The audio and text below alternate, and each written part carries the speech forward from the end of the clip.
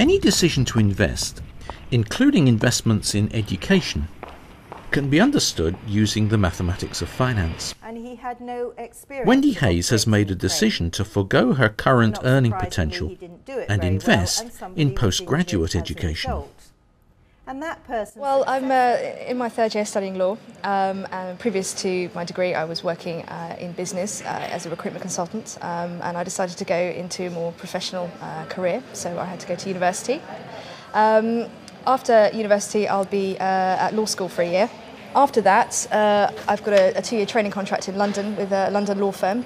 But we won't, Like uh, every other deal with you student, Wendy so has made decisions to invest heavily as we call that she thinks will accounting. pay off in the future. Whilst driving, But is this Mr. Clark was true? paying more attention Um, after you than the road. graduate, you have to either do the legal practice course if you want to become a solicitor, or the bar vocational course if you want to be a barrister. But they cost, in fees alone, probably eight or nine thousand pounds for the year. But as a result of that, she'd expect to get higher earnings in the future. She will indeed. As soon as she qualifies, her income will dramatically increase um, and will, will remain high then for the rest of her life. So you think Wendy's probably got it right. Yes, she has. But does this higher income justify the investment? Let's use the mathematics of finance to make certain.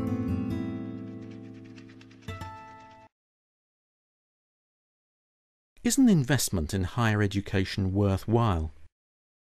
The answer will be different for different students in different circumstances, but we can get some idea by looking at Wendy's situation, and we'll need to use discounted cash flow techniques to do it. If she were starting her undergraduate course now, we would consider the costs of all the years of her undergraduate education, both the tuition costs and the loss of salary in some alternative job that she could have done. But as she's already met those costs, they are sunk costs. They form no part of the cost considerations. But there are costs still to be met during her training year. She'll earn about the same as she would have earned in an alternative job, but she'll be spending 10,000 a year on the study course itself. But if she successfully completes the course, she will expect to earn more as a result. We're estimating something like a 25% increase on the amount of money that she could earn each year if she had simply got her degree and left. So we'll say that that gives her an extra 5,000 a year as earnings, but that's before tax.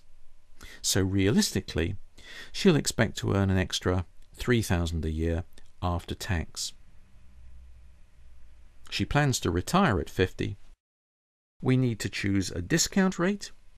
Interest rates at the moment are around 6%, so we'll use that.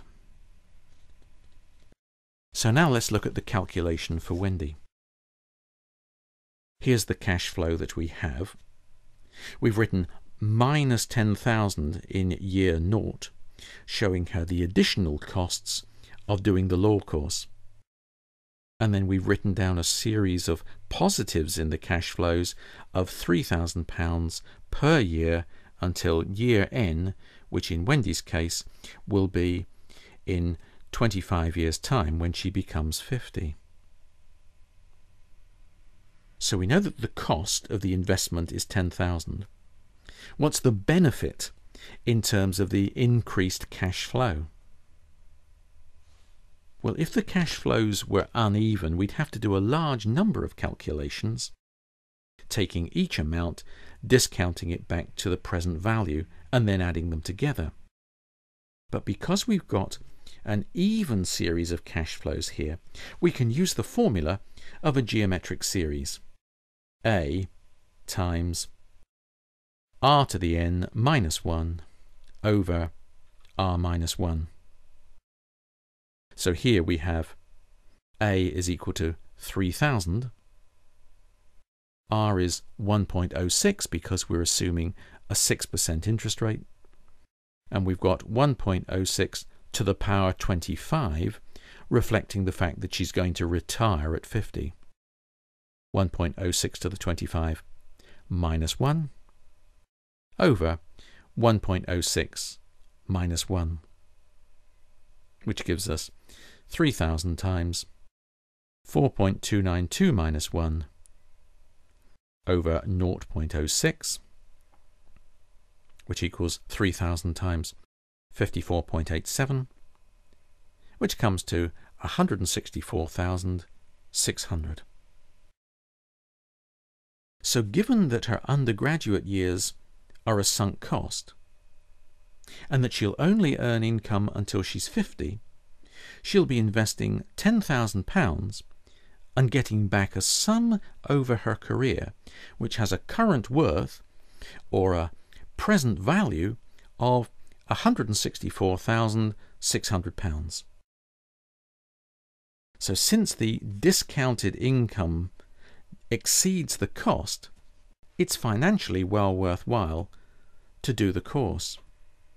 Now, clearly, the benefit of the course would be less if she'd done the calculations at the beginning of her undergraduate study, since the relevant costs then would have been much higher.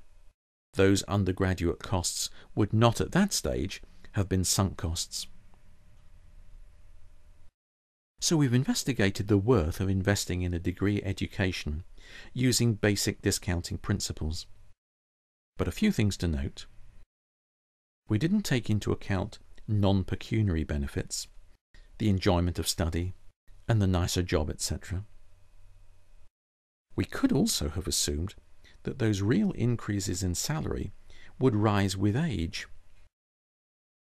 Well, you can work out your own assumptions and then follow the basic principles to see if the decision to invest in your own degree education is a good one.